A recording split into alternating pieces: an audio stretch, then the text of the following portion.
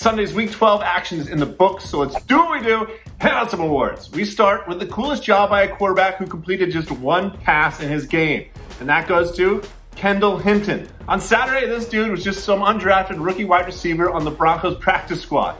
On Sunday, he was the Broncos quarterback, for real, because all the other QBs on the team were out with COVID-related issues. So Hinton jumps in, and did he do well? Well, I mean, he just completed one of nine passes for 13 yards and threw two picks.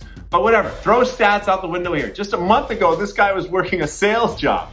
Sunday, he was a quarterback after taking no quarterback reps in any practices. So yeah, I think that's a pretty cool performance. Next, we look at the best history made by an NFL rookie, and that goes to the Panthers linebacker slash safety, Jeremy Chinn. This dude returned two fumbles for touchdowns in Sunday's loss to the Vikings. Those two fumble returns came on back-to-back plays, for real.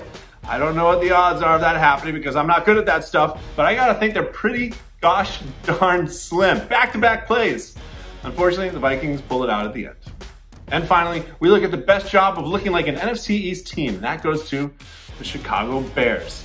These bums ruined our Sunday night as they came out and looked terrible against the Packers. This game was over by halftime.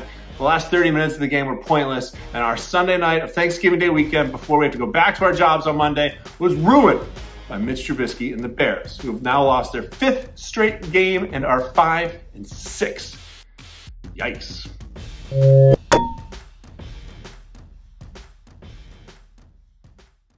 Thanks for watching that video. I hope you liked it. And before you go, can you do two quick favors for me? First, hit the like button, then hit the subscribe button, and that way you'll get an alert every time we have a new video, and then you can push aside whatever you're doing and watch more fun sports content.